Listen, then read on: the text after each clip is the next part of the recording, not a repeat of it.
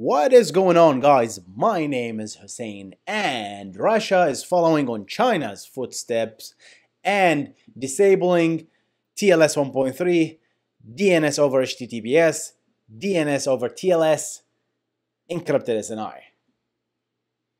Yes, it's happening, Russia. So it's a proposal. It wants to do that, right? Why? The question is why everybody's obsessed about these technologies as countries China started doing that, right? Or already they augmented the Great Firewall of China to block these technologies because you know why? Because these technologies just basically wipes every single bit of of surveillance, possible surveillance.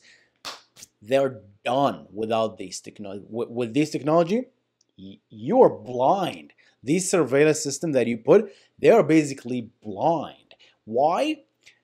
Guys, so how things work today? In TLS 1.2 and, and whatever we have today, if I communicate with the web server, I make a TCP connection first, right? So the three-way handshake, followed by a TLS handshake. And then that encrypts my communication, right? So that I have a key and the server have a key and we exchange those keys and using Diffie, uh, Diffie-Hellman and elliptic curve Diffie-Hellman so that nobody in the middle can actually see this stuff.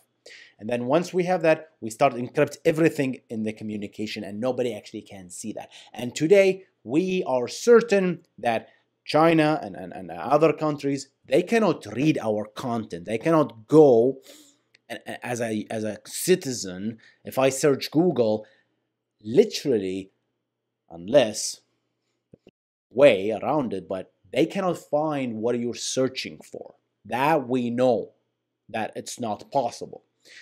The only possible way is if they install a root certificate on your device and then they served from the firewall, from the ISP, their own certificate that pretends to be Google or pretends to be your destination and that will serve to you. That will create a man, an effective man in the middle TLS termination scenario where they decrypt the traffic, look at the content, re-encrypt it in the backend and send it as as as beha- on behalf of you, right? Almost like a proxy, right? That's that's what we know today with encryption. However, that, we have a flaw today not really a flaw, but DNS, there are things that are really not encrypted at all. L- like DNS.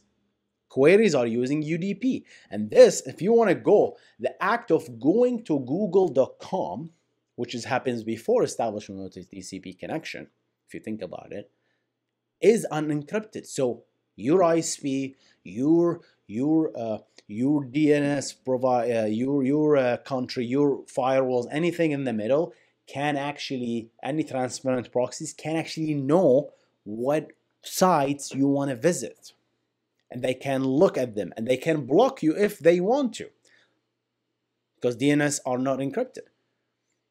So, so that's the first thing. We're fixing the DNS unencrypted with DOH and DOT, with these two technologies, right? DNS over HTTPS and DNS over TLS.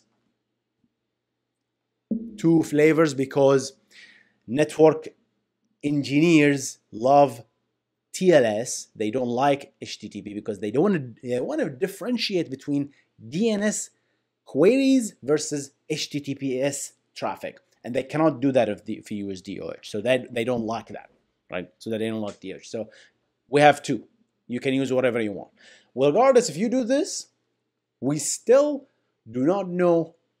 We don't know where you're going. That's it. You you can you can basically establish a communication between you and and that DNS provider, Cloudflare or NextDNS or whatever provider that supports DOH or DOT, and then you send all your DNS traffic through this, and all of this stuff is encrypted. So your ISP, your country, your government, they cannot see the queries, but they know you're going to this provider, right? The, the DNS provider. That's the only thing they don't because you, you have to use the IP address.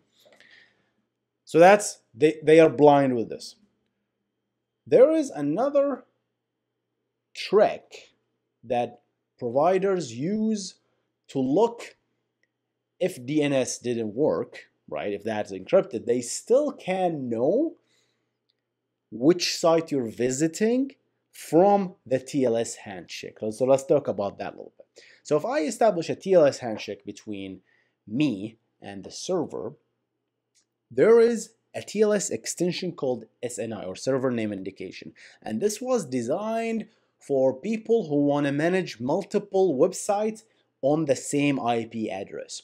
So that if I establish a TCP connection, TLS handshake, uh, TCP handshake, and then TLS handshake, how do I know it's a single IP address but it serves three websites? How do I tell the server which site I want to visit so that it serves me the correct certificate from that website? Let's say server uh, serves. Uh, let's, let's say this public IP address serves a.com, b.com, and c.com. So during TLS handshake 1.2 and 1.3, we have an extension called server name indication. And in that, there is a plain text string that we inject in the extension and we say, hey, I want to go to AB, A.com or B.com or C.com, one of, one of those, right?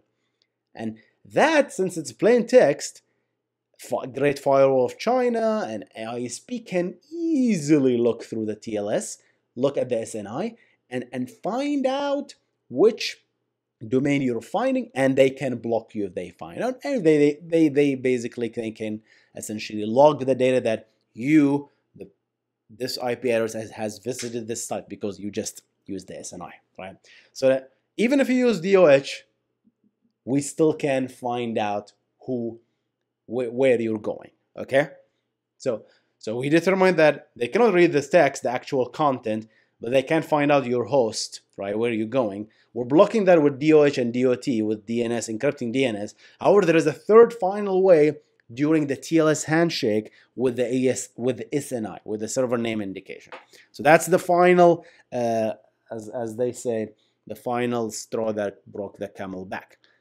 And that's where Cloudflare and others implemented ESNI, which is encrypting the TLS handshake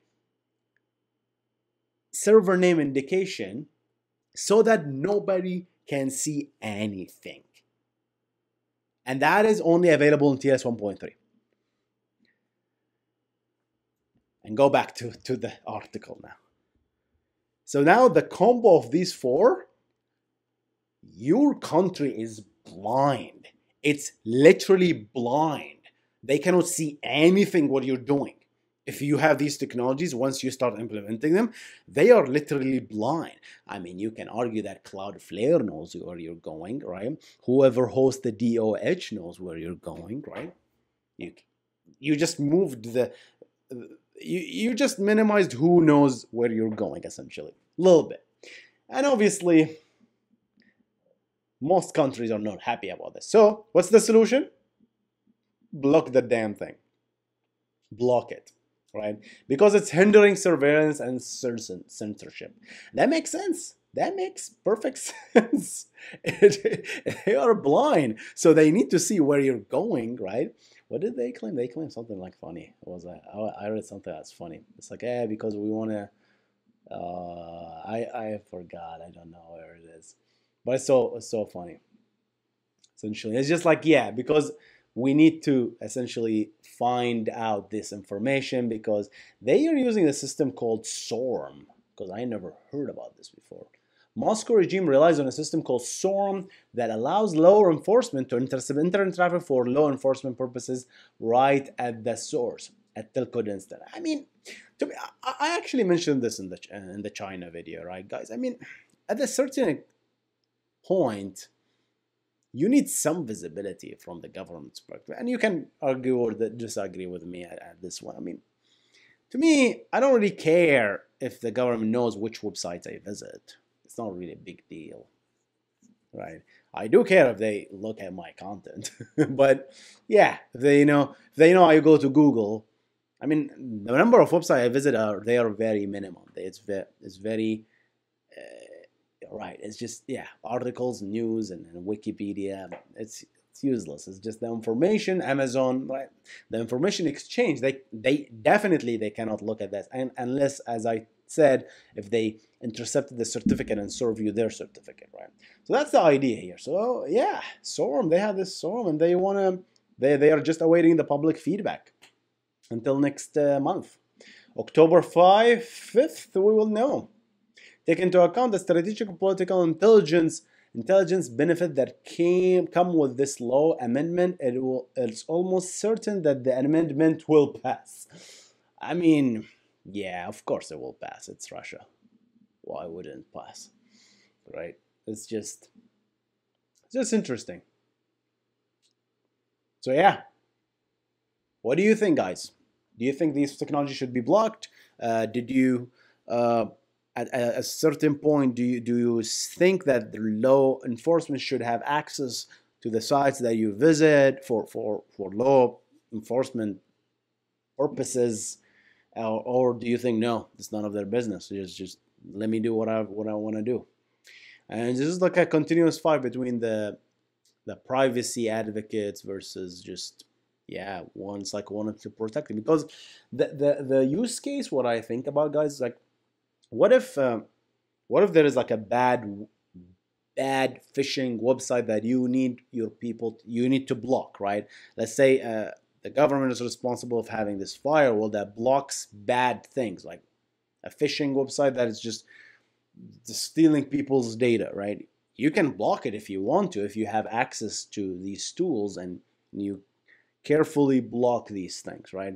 Without with these tools, you cannot do anything because you cannot see what's going on. All right, guys, I'm gonna see you in the next one, guys. you let me know what do you think about these technologies, and uh, I'm gonna see you in the next one, guys. You guys stay awesome. Goodbye.